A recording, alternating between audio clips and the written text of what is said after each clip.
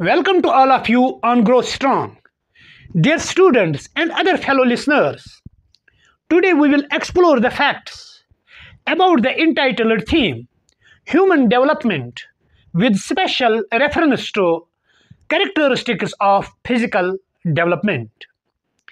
As we know that development is the both quantitative and qualitative process. It means change take place in both shape size and functional aspect.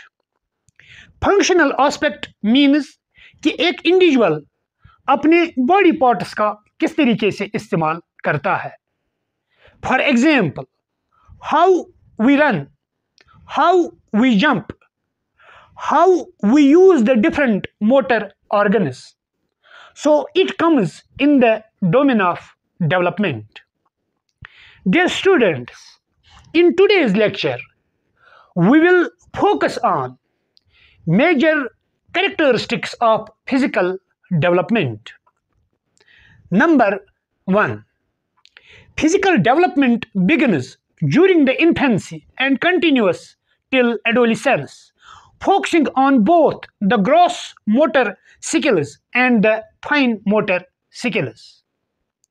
जैसे कि हम सब जानते हैं development is the continuous process it means it starts from birth I mean to say you development starts from infancy period and ends at the death हर कोई organism जो है, वो डिफरेंट सेवरल स्टेजेस से पास होता है। Same is the case with the human beings अगर हम एक ह्यूमन बींग की बात करेंगे, या ह्यूमन चाइल्ड की बात करेंगे first and primary period of growth and development is infancy जब इन्फेंसी पीरियड को एक चाइल्ड कंप्लीट करता है, एक इन्फेंट कंप्लीट करता है तो वो दूसरे स्टेज में चला जाता है। that's known as childhood stage. And after the childhood stage, third stage starts. That is known as adolescence. After the adolescence, fourth stage starts. That's known as adulthood.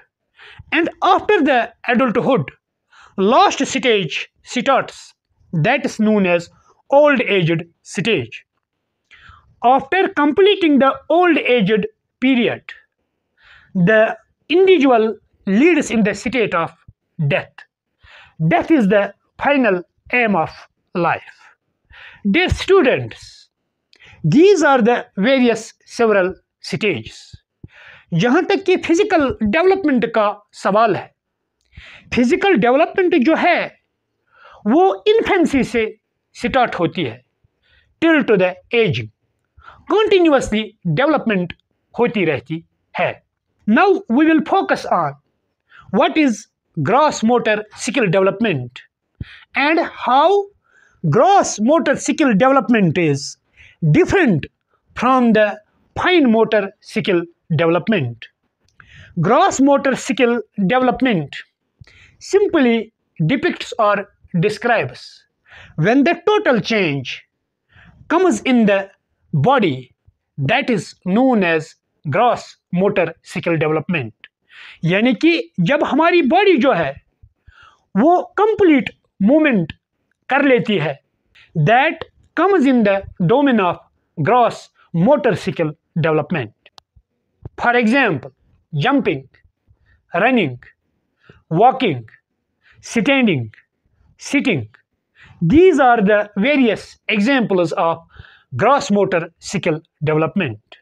While as on the other hand, fine motor skill development means or depicts when an individual is able to rotate or move small portion or part of the body for example rotation of the wrist किस तरीके से एक individual wrist को move करता है किस तरीके से एक इंडिविजुअल जो है, वो नेक को मूव करता है? किस तरीके से एक इंडिविजुअल जो है, वो पर्टिकुलर लिम्ब को मूव करता है?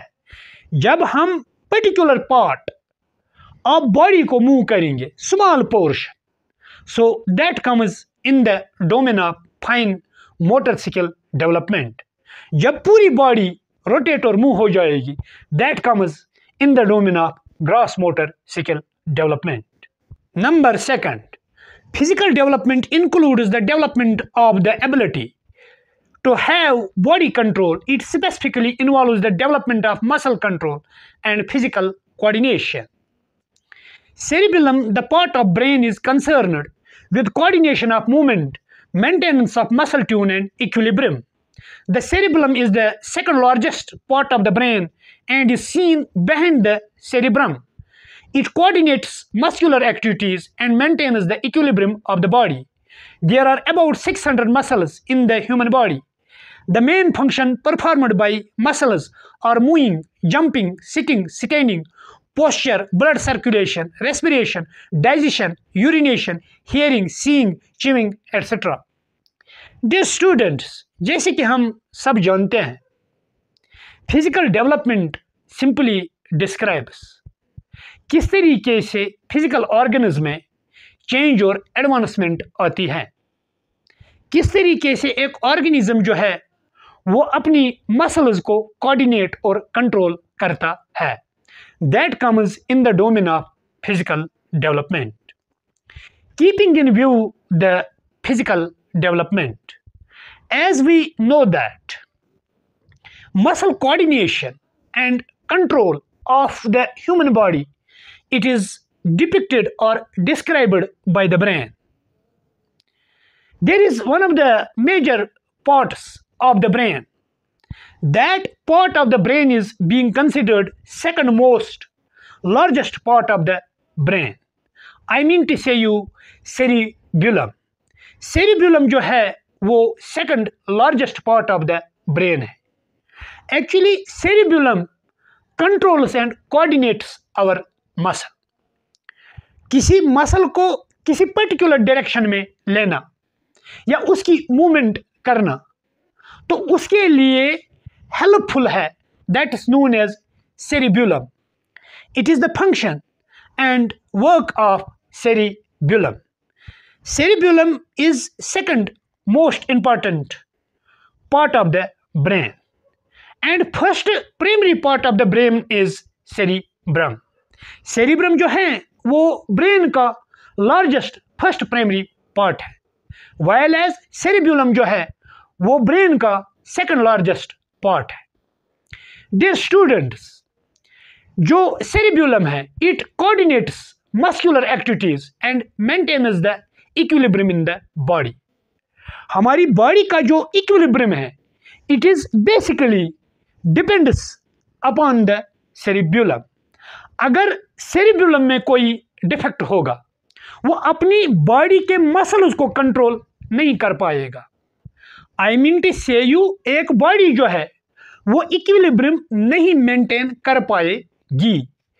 Without the proper functioning of cerebellum इसीलिए प्रॉपर मसल कोऑर्डिनेशन और कंट्रोल के लिए सेरिब्यूलम जो है, वो नॉर्मल तरीके से फ़ंक्शन करना चाहिए dear students there are about 600 muscles in the human body the main function is performed by the muscles are moving jumping sitting standing posture blood circulation respiration digestion urination, hearing, seeing, chewing, etc.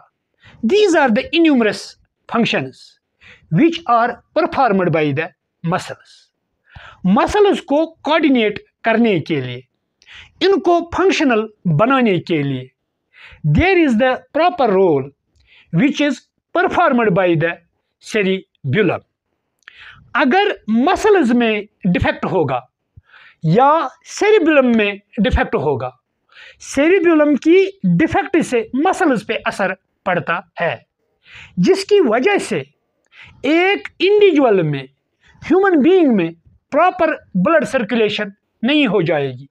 Keeping in view the heart muscles यानी कि conic problems जो अक्सर बेशतर हो जाती है। It is because of कि जो heart के मसल्स है, वो सही तरीके से फ़ंक्शन नहीं करते हैं। And apart from blood circulation जो अदर डिस्टर्बेंसेस एक ह्यूमन बॉडी में हो सकती है those are like digestion digestion की प्रॉब्लम हो जाएगी चिविंग की प्रॉब्लम हो जाएगी रनिंग की प्रॉब्लम हो जाएगी। एक इंडिविजुअल सही तरीके से जंप नहीं कर सकता है। वो सही तरीके से पोस्चर को मेंटेन नहीं कर पाएगा। एक इंडिविजुअल जो है, वो सही तरीके से बैठ नहीं सकता है। और इसके बगैर भी बहुत सी ऐसी प्रॉब्लम्स जो है, जो मसल प्रॉब्लम से हो सकती है। लाइक सीइंग देखने में दिक्कत होगी। लाइक हियरिंग सुनने में भी दिक्कत हो जाएगी how muscles plays important role in order to perform the different types of functions nutshell में हम कह सकते हैं, जो सेरिबुलम है as a second largest part of the brain it coordinates controls and maintains the equilibrium in the body. In order to understand the connection between muscles and brain brain और muscles के दरमियान क्या connection है? उसको समझने के लिए आप फ्लो डायग्राम्स पे भी फोकस कीजिए, ताकि आपको कंप्लीट इंफॉर्मेशन मिल जाएगी। हमारी बॉडी में कौन कौन सी मसल्स है और किस तरीके से ये कनेक्टेड है ब्रेन के साथ? And how they create the proper network in order to maintain the proper functioning of Whole body number third physical development takes majorly during childhood childhood is an important time for body coordination and brain development allowing individuals to develop certain abilities such as crawling, walking, grasping and writing. Dear students, जो physical development है ये बहुत तेज़ी के साथ childhood stage में होती है। चाइल्डहुड स्टेज में एक बच्चे की मसल कोऑर्डिनेशन और ब्रेन डेवलपमेंट हो जाती है। जो ह्यूमन चाइल्ड है, वो चाइल्डहुड स्टेज में लर्न करता है how to crawl how to walk how to grasp and how to write यानी कि चाइल्डहुड स्टेज ही में बच्चा जो है, वो क्रॉलिंग सीखता है। प्रॉपर क्रॉलिंग सीखने के बाद बच्चा ऑटोमेटिकली प्रॉपरली मसल्स को यूज़ करने की कोशिश करता है।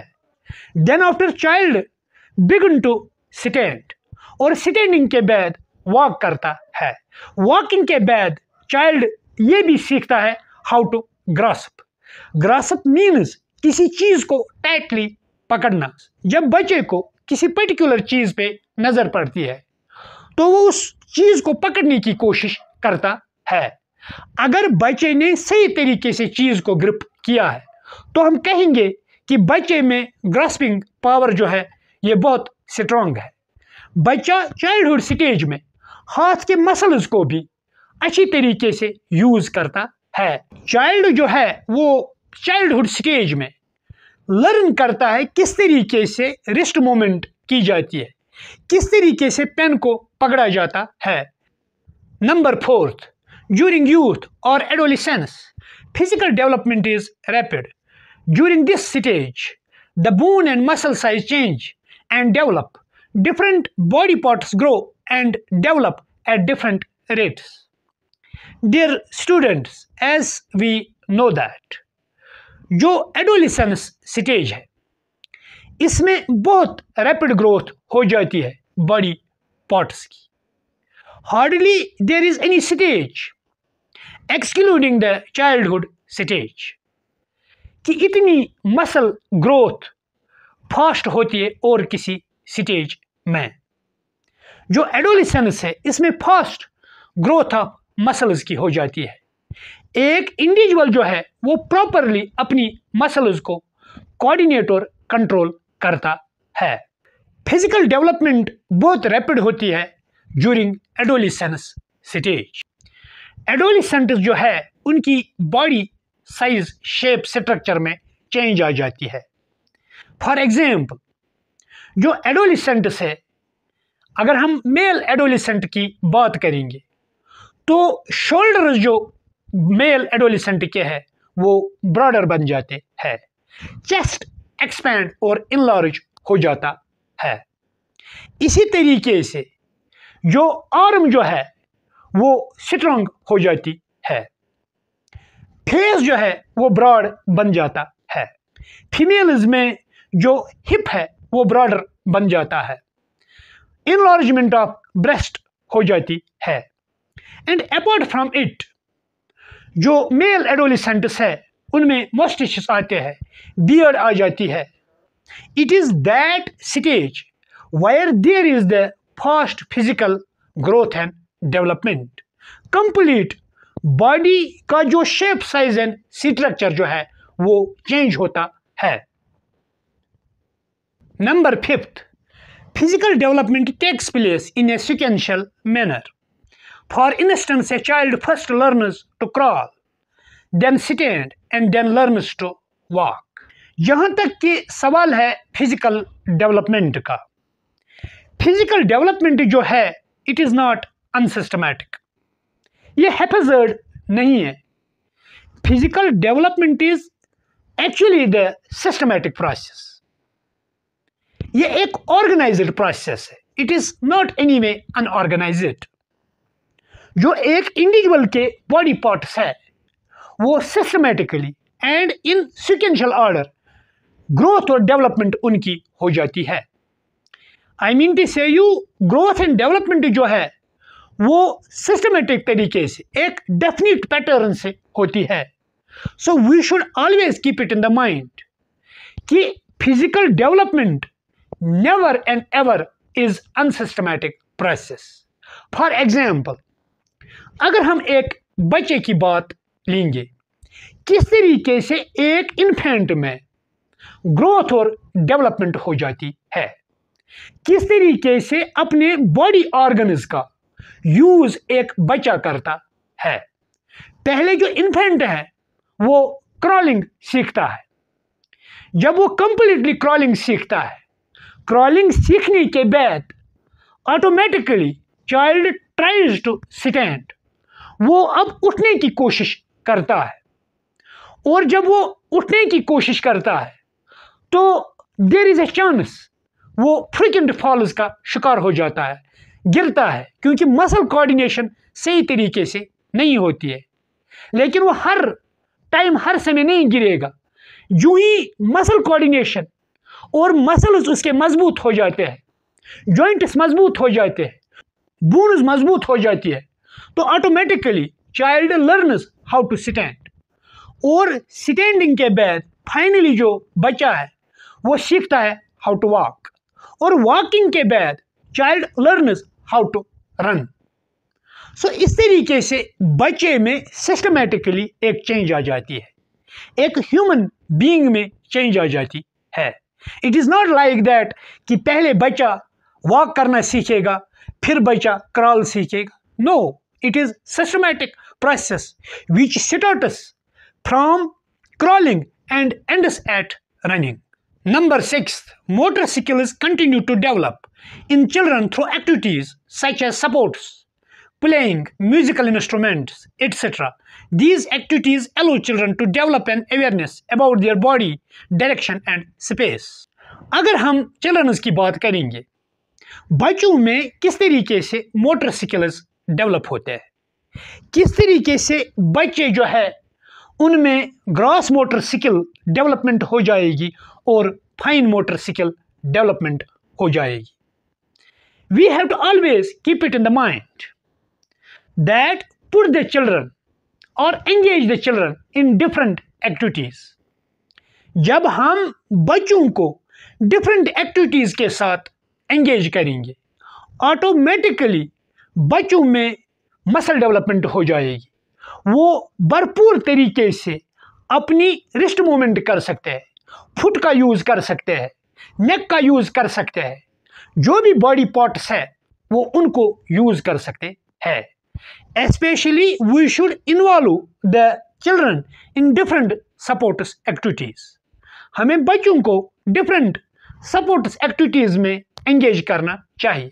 चाहे कोई भी गेम है, गेम खेलने से उनमें मोटर स्किल डेवलपमेंट हो जाएगी। वो प्रॉपरली अपनी मोटर ऑर्गन्स को यूज़ कर सकते हैं अपर लिम्ब्स को यूज़ कर सकते हैं लोअर लिम्ब्स को यूज़ कर सकते हैं फूट का यूज़ कर सकते हैं नेक का यूज़ कर सकते हैं। किसी चीज़ को वो सीखेंगे किस तरीके से ग्रिप किया जाता है। अपार्ट फ्रॉम सपोर्ट्स एक्टिविटीज़ हमें बच्चों को म्यूज़िकल इंस्ट्रूमेंट्स भी देने चाहिए। क्योंकि म्यूजिकल इंस्ट्रूमेंट्स चलाने से या उनको बजाने से उनमें मोटर स्किल डेवलपमेंट हो जाएगी। So these are the various ways by which motor skill development of the children will take place so this was all about the characteristics of physical development dear students if you really enjoyed the lecture kindly like share and subscribe the channel thank you and grow strong.